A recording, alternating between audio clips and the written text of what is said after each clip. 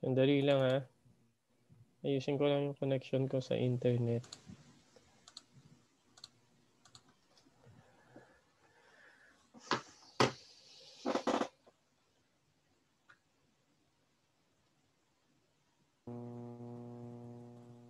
Crash report?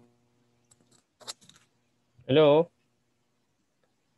Naririnig niyo ako? Yes po. Okay. Uh, Daniel, can you mag-start na tayo, no? Yung PowerPoint ko nakikita nyo? Hindi po. Ay, hindi. Dali. Ayan, kita nyo na?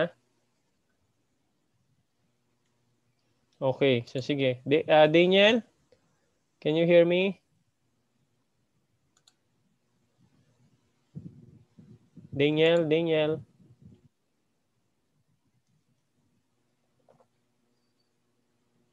Daniel. Hello, Chris. Daniel, are you there? Harold, are you there?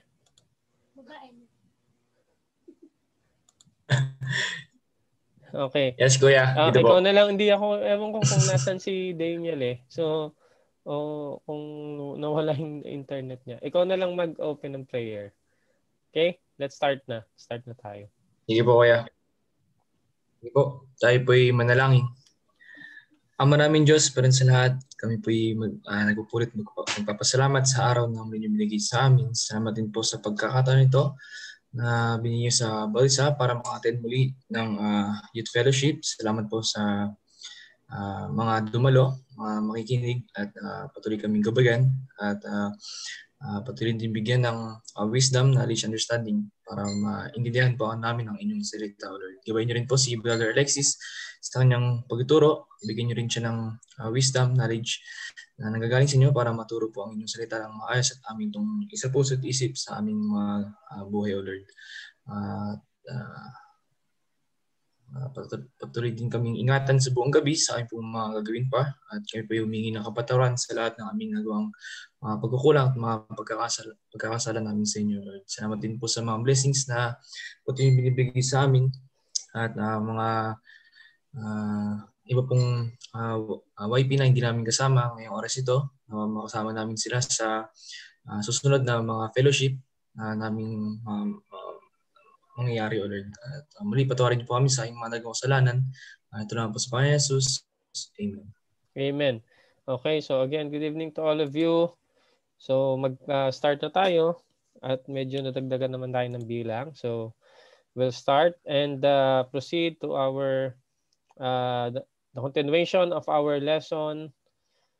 And if you can turn again, if you can turn on your video, much uh, better. So we will uh, review a very very quick review of what we have learned last time. So we have we're done studying the city and some part of the background. We have small knowledge on how uh, this church exists, but most probably there were um, believers from Ephesus since this is near Ephesus itong place na ito no from there nagpunta sila ng uh, maybe yung iba nagpunta sa uh, Smyrna at itong dalawang city na ito ay nagpapaligsahan no? So pareha silang mayaman na city ng Smyrna at ang Ephesus. So ito ay napag-aralan natin no? Before. At uh, maraming mga uh, information tayong natutunan. And also we have learned the chosen we have discussed the chosen title of Christ. Kung ano yung ginamit na title ng Panginoon. And again every title that God or the Lord Jesus Christ is using is very relevant to the church. And even uh, they can relate because of the of where they are especially on the city where they live. Okay? So yung chosen title of Christ that uh, we have uh, discussed last time is he introduces himself as the Alpha and Omega or the first and the last, which was dead and is alive. So just to add, uh, I was not able to uh, tell this to you last time. Just to add that this this city, the city of Smyrna, was uh, revived, no, because uh, before it was conquered by King Attalus, and it was almost destroyed. No, maliit lang na part or village ang natira Pero during the time ni Alexander, he revived the city. So ni-revive niya ang city na ito.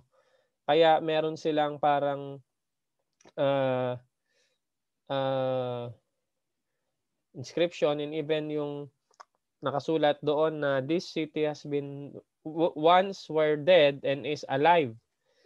So itong city na ito ay na-revive ni Alexander the Great and become a strong became a strong city. Even until now, compared to to Ephesus, no? I think na discuss natin sa sa discuss natin last time, yung city ng Ephesus ay hindi na nag-exist. So natabunan na yung mga port doon, pero itong Smyrna which is right now the presently uh, presently called Izmir, no? Ito yung kanyang pangalan ngayon. I don't know if you're aware that just recently nagkaroon ng earthquake dito sa Izmir. So this is one of the this is the next largest city doon sa second largest city doon sa Turkey ngayon. So meron silang identity na once was dead and is alive and even until now itong city na ito ay nag-exist. So kaya ginamit ng Panginoon din ang title na ito uh, sa kanila. No? So he, he described himself as the first and the last as well, no? that he, he exists and uh, he experienced uh, suffering, no? Yan din yung hindi ko nababasahin lahat yan, but he experienced suffering, he died and rose again. And we know that uh, this church, this, this church is called the suffering church. They suffered a lot. And later on, you will learn ano ba yung mga bagay kung saan sila nagsuffer, no? Ano yung mga kung saan sa kaninong mga kamay, no? Sila nagsasuffer, nagsuffer. So we we learn also that just like the Lord Jesus Christ, yung gift na binigay kay Jesus Christ, di ba, when He was born, was myrrh. Yung myrrh. At yung myrrh, we know that ginagamit ito sa mga uh, pag may namamatay kasi yung amoy niya is sobrang bango. Siyempre, yung mga pag namatay na, di ba? I don't know if you have smell some dead animals maybe, hindi maganda o yung amoy, di ba? So, even yung tao pag tayo namamatay. So itong mirror ay sobrang bango uh, na tatabunan no yung baho ng isang patay. And even the more you crush the mirror, the more it uh, the aroma goes or comes out. So just like the Lord Jesus Christ, when he died, he died once for our sins and he said on the cross, it is finished. So ibig sabihin tapos na ang uh, kasalanan at he finished it on the cross of Calvary. So yan yung ating pinag-aralan last time. So the city, the, the chosen title of Christ, now we will go to the commendation. Ano ba yung commendation? Yung positive thing na sinabi ng Panginoon sa church na ito. So now we will go again and uh, let let me request one of you isa na lang siguro or siguro dalawa, dalawang tao na basahin ang Revelation chapter 2. Punta tayo sa church ng Smyrna. Revelation chapter 2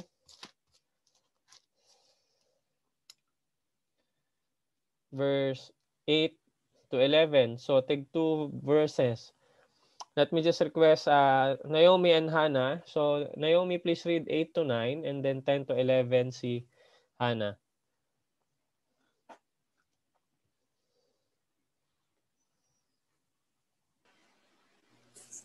Forgive me, paano pong verse? 8 to 10. Yung church ng Smyrna. Revelation 2, 8 to 9. Sorry, 8 to 9, then 10 to 11 si Hannah.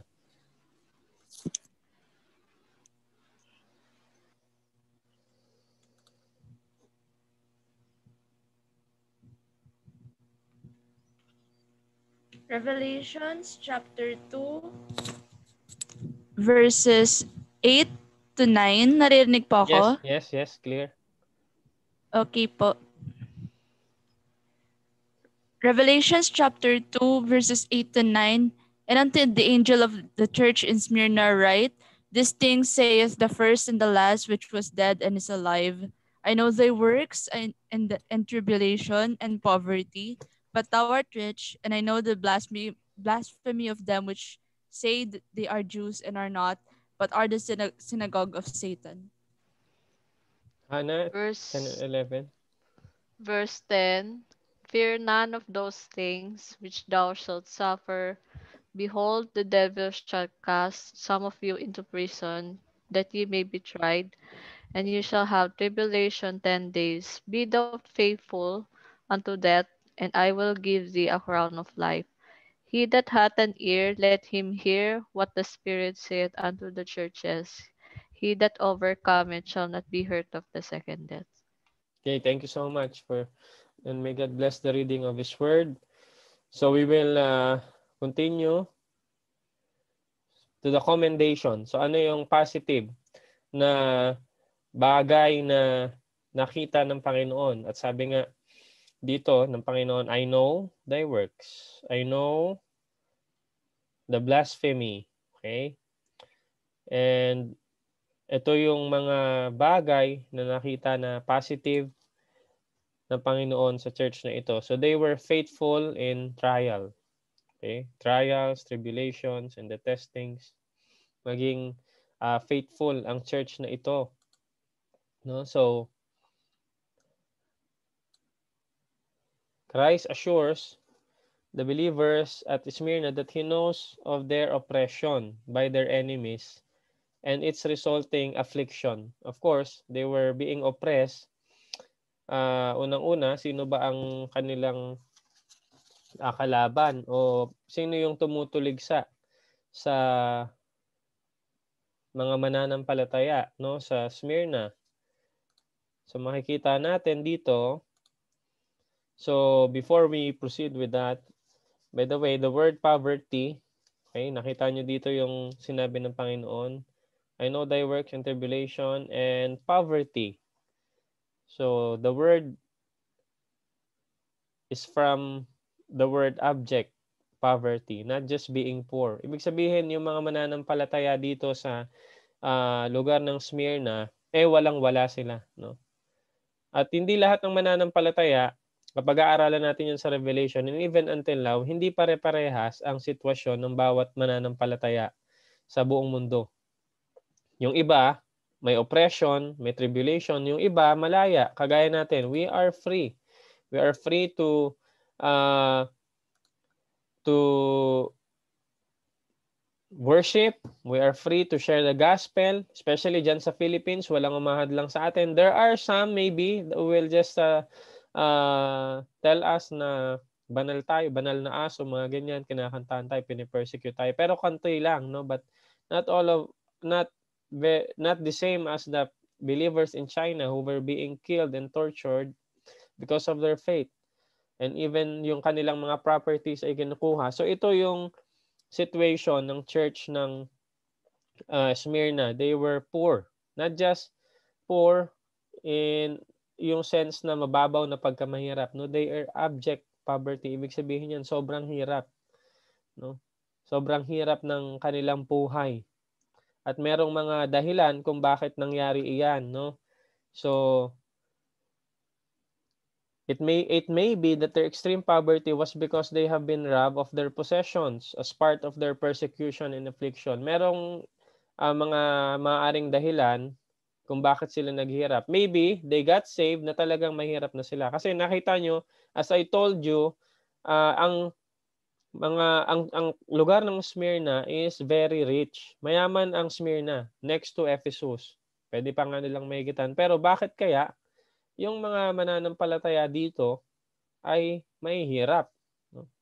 So pwedeng ang dahilan, mahirap na sila before they got saved or they were being robbed. Kinuha yung kanilang mga properties because of the the faith that they had dahil meron si dahil sa pananampalataya na meron sila. Kasi sabi ko nga sa inyo, 'di ba? Uh, very popular dito ang emperor worship. The the people worship the emperor.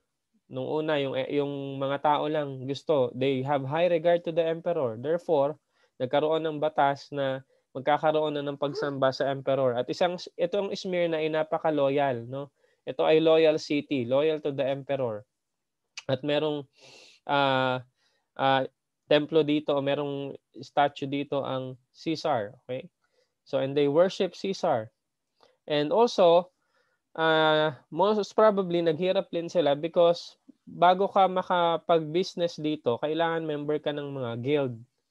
So ano ba yung mga guild? Yun yung parang kooperatiba, no? Halimbawa sa mga palengke may mga ko- kooperatiba 'yan. At yung mga 'yan, meron silang mga party o meron silang mga uh, ginagawang pag pagtitipon at the same time but do, during that time sa kanilang pagtitipon sila ay sumasamba sumasamba sa kanilang mga Diyos-Diyosan and of course Christians will not bow down to the to their gods therefore ini-ignore sila or hindi sila pinap, hindi sila pinapayagan na makasali and even buying to them halimbawa nalaman na Kristiyano sila they will they will not buy from them. Na, kunyari sila ay nagtitinda. Usually, yun naman ang uh, source of income. Nagtitinda, nananahi, or whatever.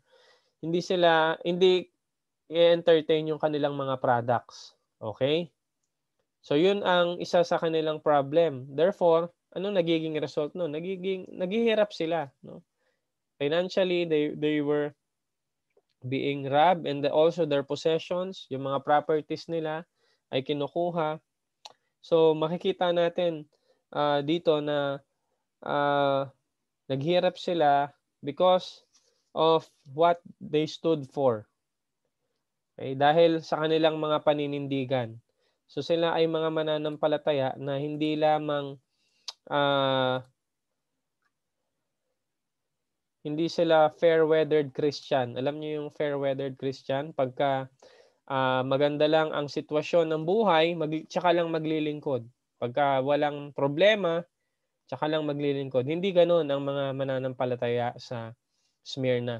Ang mga mananampalataya sa Smyrna, kahit sila ay kuwaan mo ng mga properties, kahit sila ay agawan mo ng mga masasama, they will not bow down to Caesar or they will not do things that is against Christ. Okay? So ganoon ang mga mananampalataya sa Smyrna. They were being persecuted by the pagan people. No, yung mga tao na may mga iba't ibang sinasamba na Diyos-Diyosan. Hindi sila hindi sila magpapatalo doon, no? So they were faithful in times of trials and persecution. So kaya yun yung mga pwedeng reasons kung bakit sila naghirap no dahil walang tumatangkilik sa kanilang mga products they were being oppressed and they were not being allowed to join sa mga guilds sa mga group sa mga kooperatiba para makapag-business.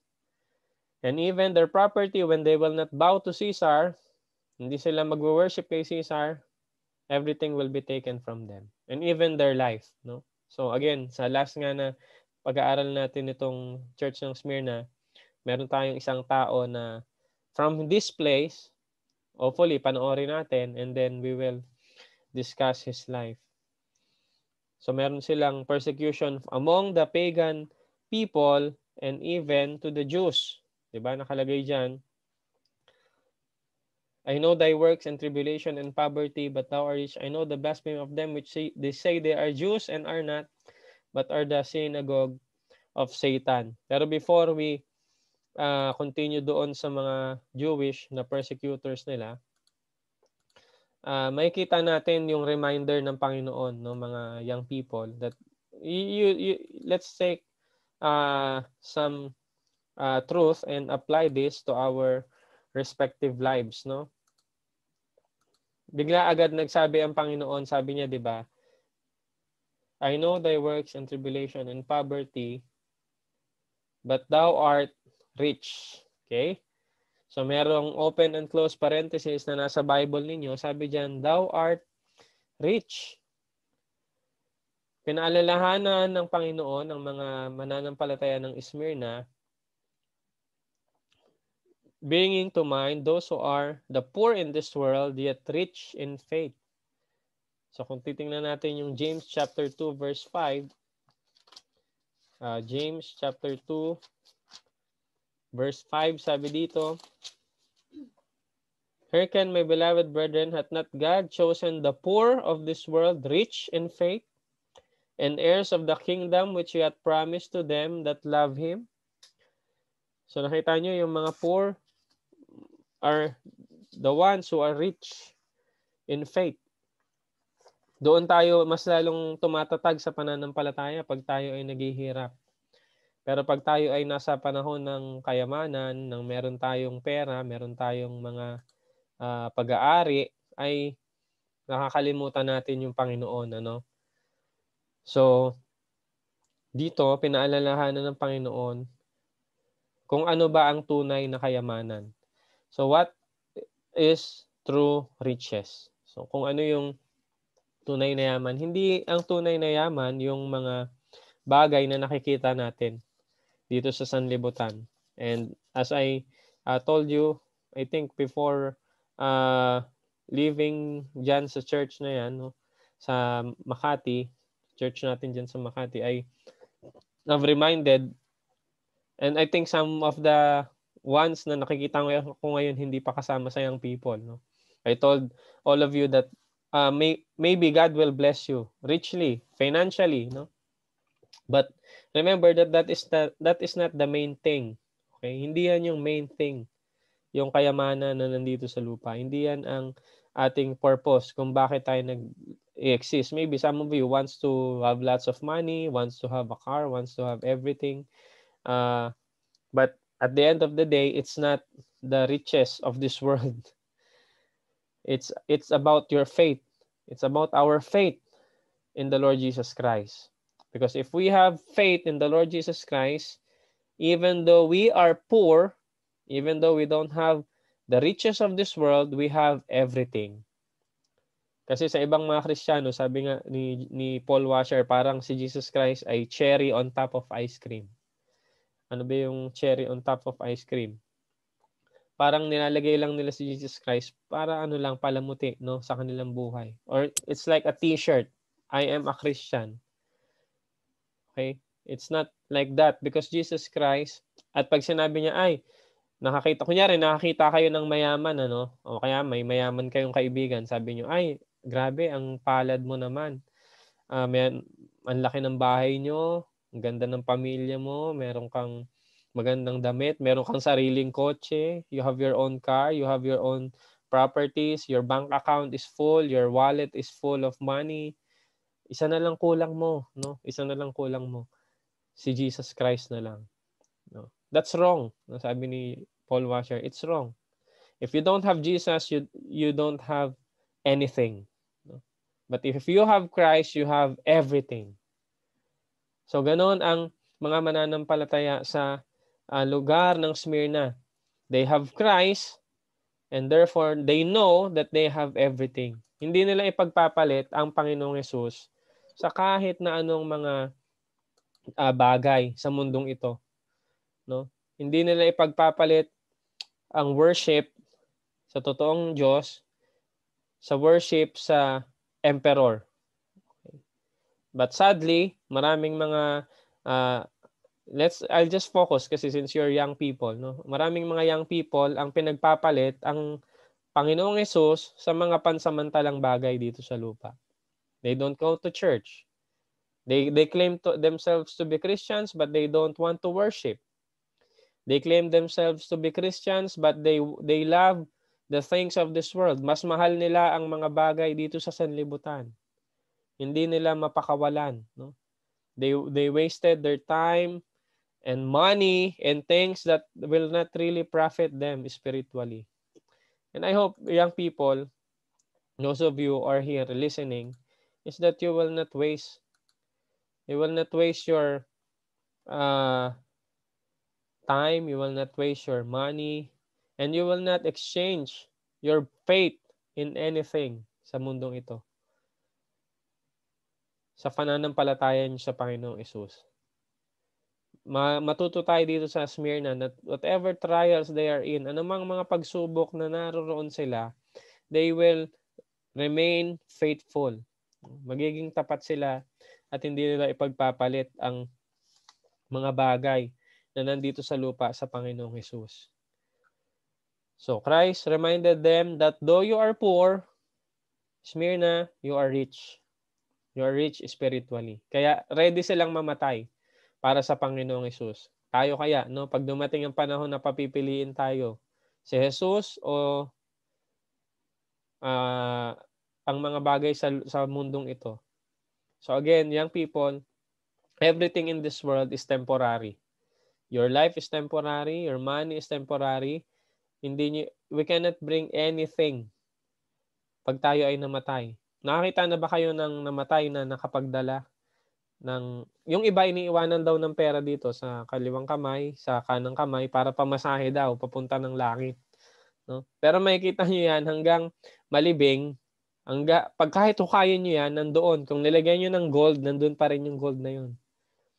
So ano ba yung hindi ano ba yung bagay na madadala kahit damit wala. Kaya nga sabi ni ni Job, naked came I out of my mother's womb and naked shall I return.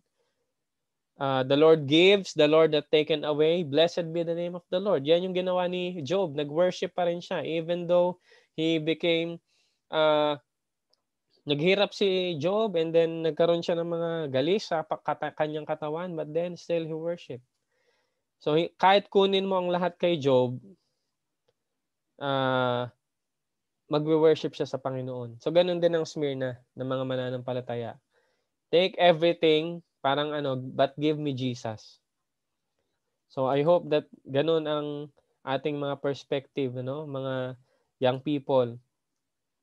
Because life, our life here is temporary and the things in this world is temporary. That's why, therefore, we need to live by faith. We need to live by faith and not by sight. So, ibahin natin yung ating mga perspective bilang mga, kayo bilang mga kabataan at ako din, no?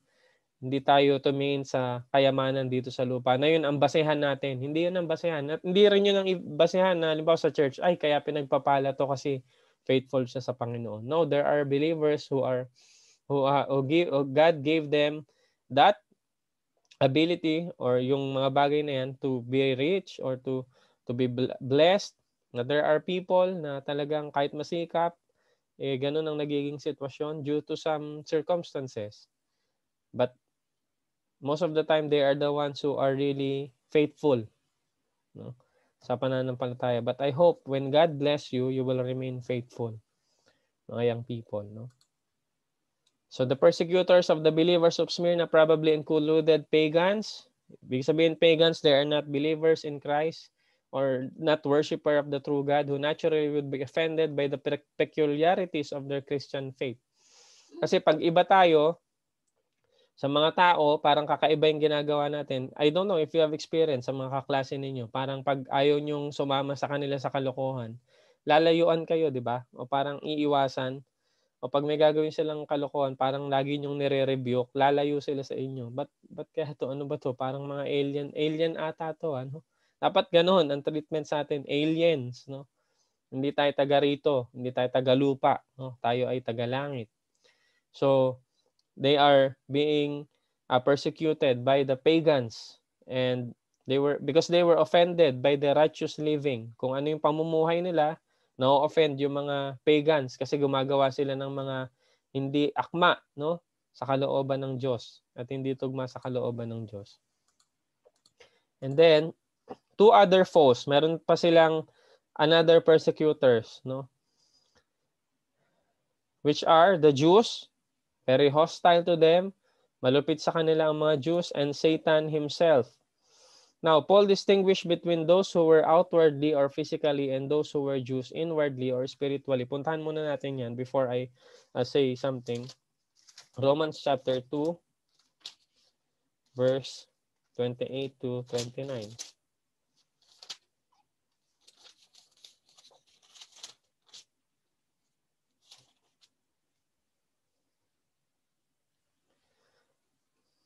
Uh, Pauline, pwede pakibasa? Romans chapter 2, verses 28 to 29. For he, for he is not a Jew, which is one outwardly, neither is that circumcision which is outward in the flesh. Verse 29, but he is a Jew, which is one in which is one inwardly, and circumcision is that of the heart, in the spirit, and not in the letter, whose praise is not of men, but of God. Okay, so thank you. So, uh, gaya ng sinabi ng Panginoon sa diyan sa Revelation, kung makikita ninyo, sabi niya, uh, I know the blasphemy of them which say they are Jews and are not. So not Jew, not all Jews are Jew, Jewish, no? Ibig sabihin, yan yung mga wala sa Panginoon pero they claim to be Jews kasi they are proud na they are the chosen nation, no? Pero sabi ng Panginoon, they are not they are not Jews, they are synagogues of Satan.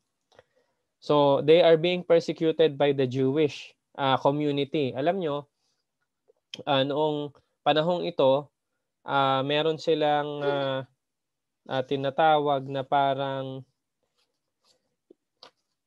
sinisiraan sila na ang tawag diyan ay slander no sinisiraan sila ng mga Hudyo noon merong tinatawag na permit. Every yung mga religions especially the Jewish have the freedom to not to worship Caesar no? Ganun sila kalakas or ka parang ka-influential during this time na they have kasi they do not believe in any gods yung mga Jewish.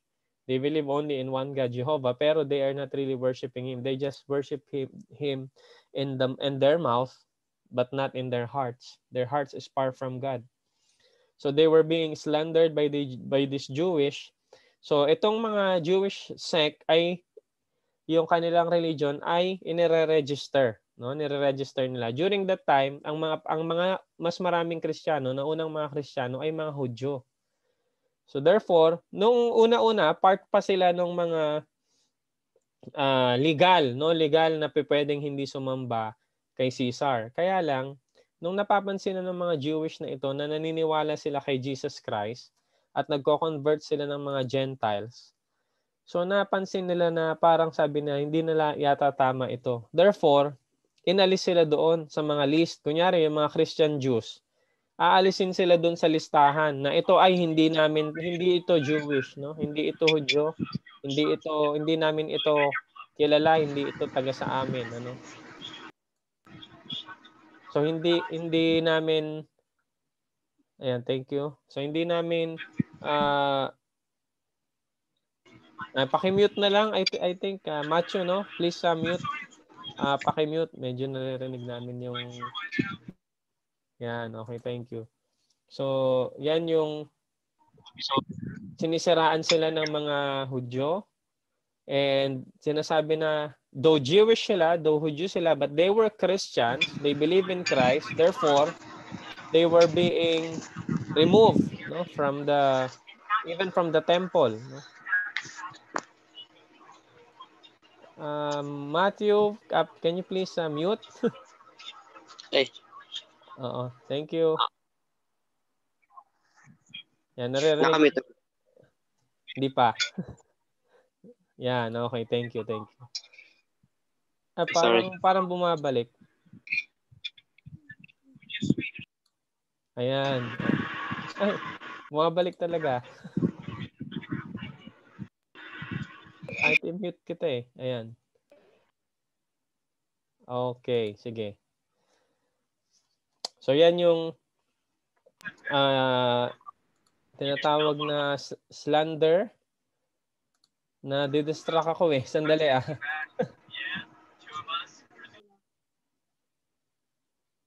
Ayan. Kahit i-mute ko parang bumabalik.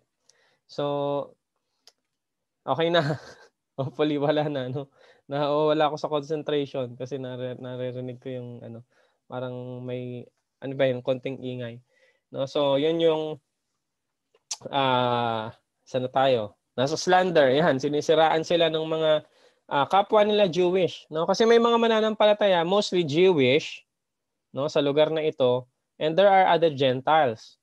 So therefore, yung mga Jewish na ito, na totally Jewish naman talaga sila, pero nire-remove sila parang uh, hindi kayo hindi kayo Hudyo. Kaya ngayon, they are prone they were not protected and they are prone to be persecuted.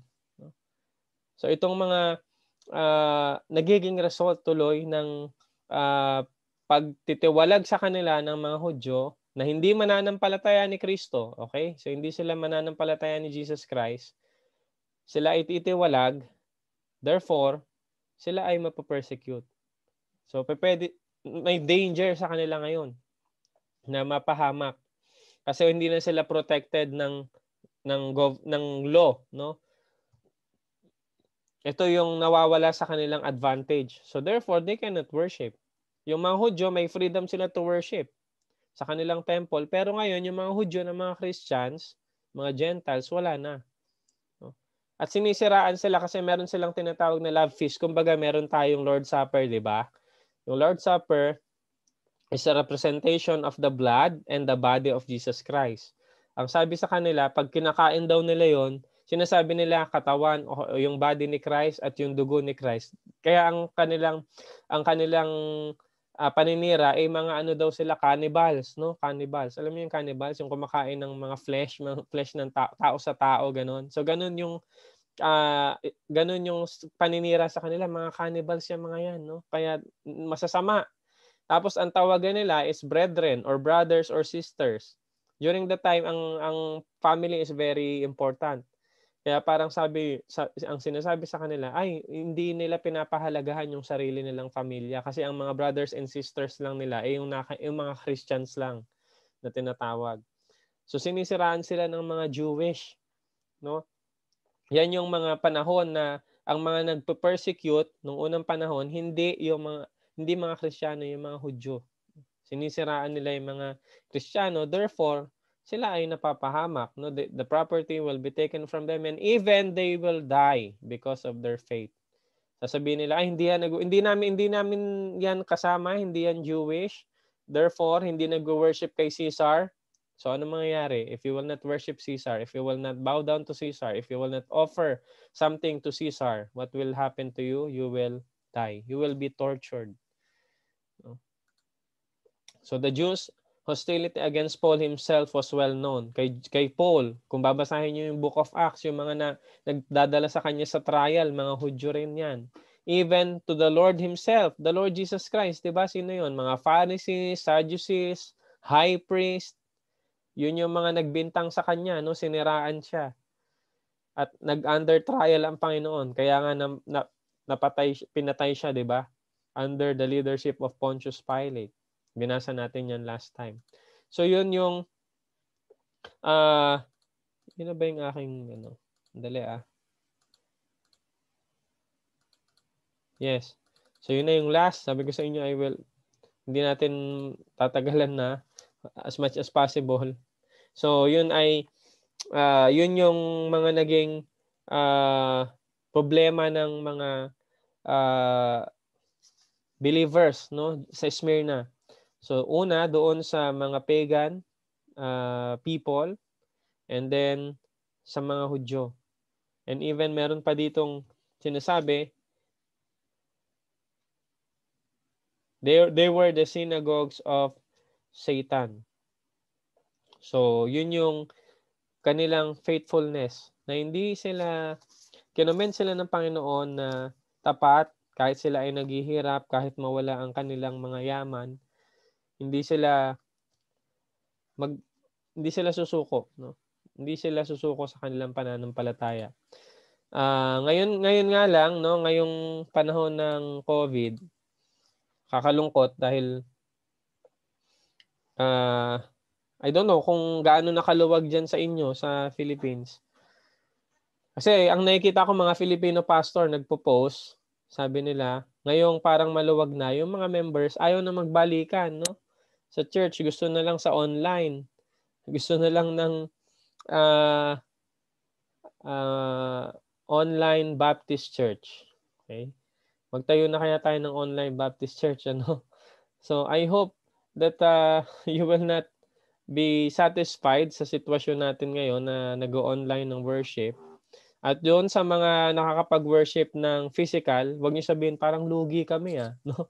Lugi yata kami dun sa mga nasa online. Na. Huwag niyong isipin na gano'n. You should worship the Lord kung saan ang place of worship. And huwag natin pagpapalit ngayon yung pag-worship natin together as one body sa technology. Okay, so yan, maraming mga ginagawa si Satan and the devil sa inyong mga work, sa school, that might, uh, pwede kayong mamili if you will compromise your faith or not no? or if you will stand. I hope that you will stand firm. We will stand firm sa atake no ni Satan at hindi tayo magpapatalo.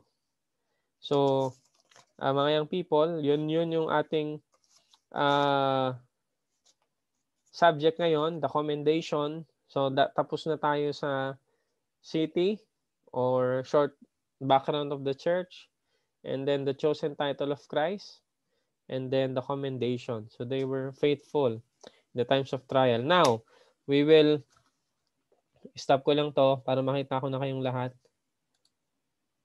Okay? So, yan. So if you can turn on your your camera, mas maganda para makita ko magkakitaan tayo, no? So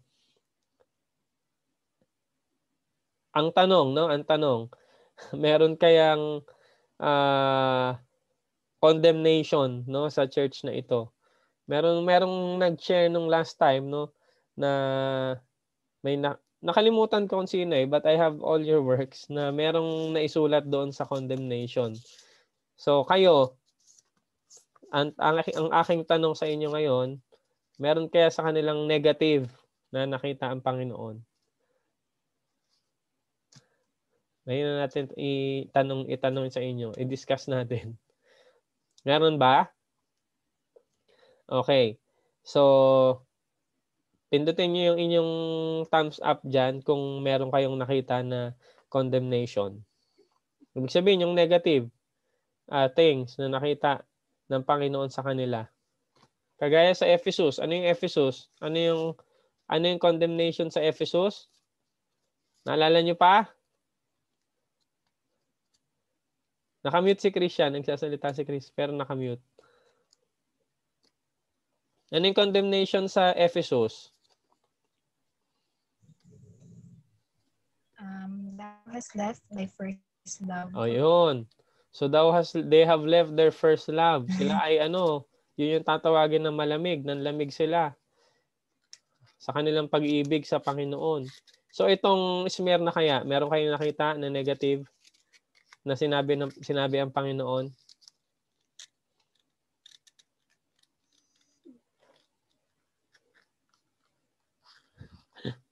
ano?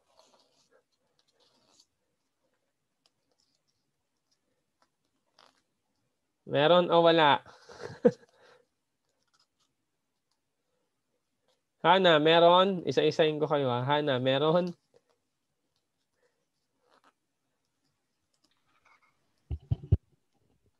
Parang wala. Parang wala. O sige, John and Saitel. At kung may meron pa kayong kasama diyan, no? Meron o wala? Meron bang condemnation? Negative?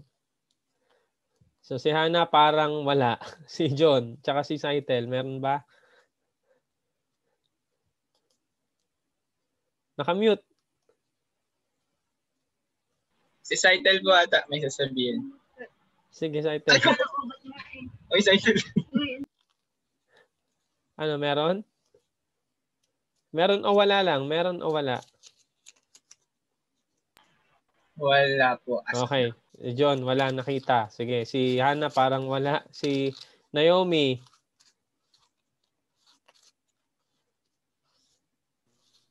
Ah, wala. Nalagay ko po siya, nalagay ko po yung sinagog of Satan dun sa commendation when I referred back to my assignment. Oo. Pero sa'yo ngayon, ang analysis mo? Well, well, yung ano nga po, yung they left their first love po. Sa Ephesus, sa Smyrna, wala. Ay, sa, ay, opo, opo. Sa Smyrna, wala. Okay, sige. Si Hani, Hani, Hani ka, kayo dyan, anong botohan nyo? Magkakapatid. Kung ilan kayo? Meron o wala? Kung ano kayo pakita? Talaga. Wala po. Wag mo na daw sila pakita.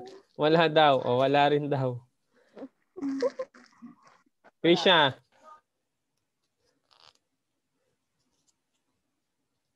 Meron? Ano yung ganito? Meron. Ano to? Meron o wala? Ha? Parang meron. Meron. Parang meron. O sige, Pauline. ha? Kuya, parang meron din po na wala. parang meron na wala.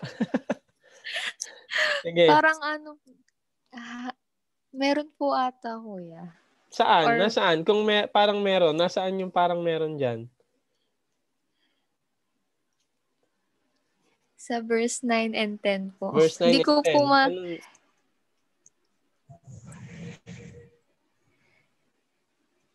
Di ko po ma-explain. Pero wala na lang po. Joke. wala na lang. Wala na lang daw kasi hirap ka mag-explain. Ganun pala. Ayos yun. ah. Pero kuya, parang meron. Parang meron pa rin. O, Para, sige. Ako, meron po. ako. Lemuel, are you there? Ah, Daniel and Matthew? Saan dyan ba kayo? Kasi wala yung mga inyong gwapong mukha eh. Yes po. Ah, Daniel, meron o wala? Wala po. Wala. O, si Lemuel. Hi. Meron o wala? Wala. Wala daw. Wala si po. Matthew. Ay, si Matthew kasi parang na-late siya ng dating eh, no? So, meron ba? Nakalate na ako. Oo, pe, oh, sige, pinag-usapan namin kung meron bang negative na nakita ang Panginoon sa church ng Smyrna. So sa mga parang meron, hanapin nyo. Assignment nyo yan. sa mga parang wala, assignment nyo. lang. Hanapin nyo yung wala, ha? So pakihanap yung wala.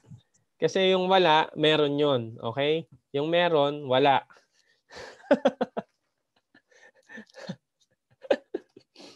Okay. So, we'll see. We'll see next time. So, tinanong ko na kayo ngayon. So, sa mga parang wala, hanapin nyo yung wala. Yung sa mga parang meron, hanapin nyo yung meron. Hindi, I mean, yung mga wala, patunayan nyo na wala kayong nakita.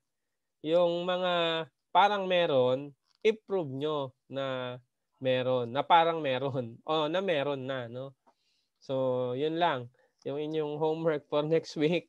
And then hopefully we will uh, uh, maybe we will finish or this Friday or the next Friday itong Smyrna and then we will watch. Magkakaroon tayo ng film showing together, no? Watching the life of one believer na nakatira dito, na tumira dito and during the period of time ng Smyrna. Okay? So panonoodin natin siya together. So I don't think kaya yan ng isang upuan, no? Ah, siguro half panoorin natin next week, then half sa susunod. Okay? So, yun lang. And salamat sa inyo.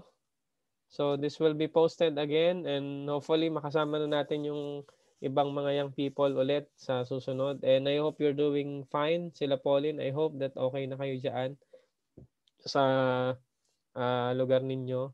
Sila Krisha, okay na rin. And si Harold nandito kanina, nawala, no, yung kanyang maybe nawala yung kanyang connection, pero siya yung nag-opening prayer. So, meron ba kayong questions? Addition, subtraction, multiplication, division? No? Sige, kung wala na, no, kung kung wala, i mag-close na tayo sa panandangin. Kanina si Harold, Daniel, kanina hindi ako narinig ni Daniel. I think narinig na ako ni Daniel ngayon. Ah, Daniel, Yes please po. lead us in a closing prayer for tonight. Okay. Ah, tayo po ay manalangin.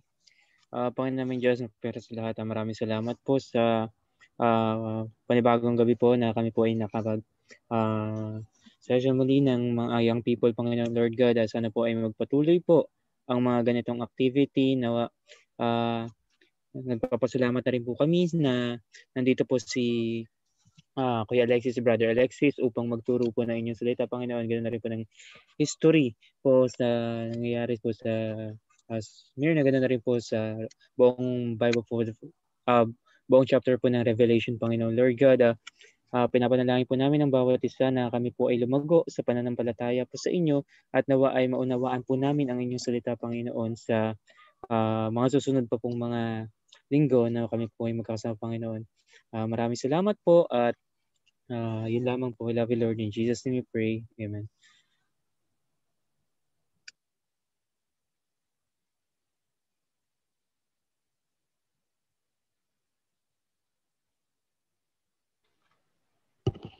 Nawala pa yung audio.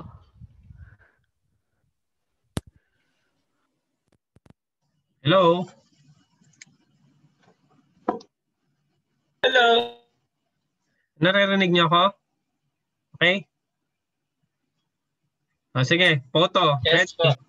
Photo tayo. Nasaan ba yun? One. One. Two. Three. Smile. Okay, sandali lang.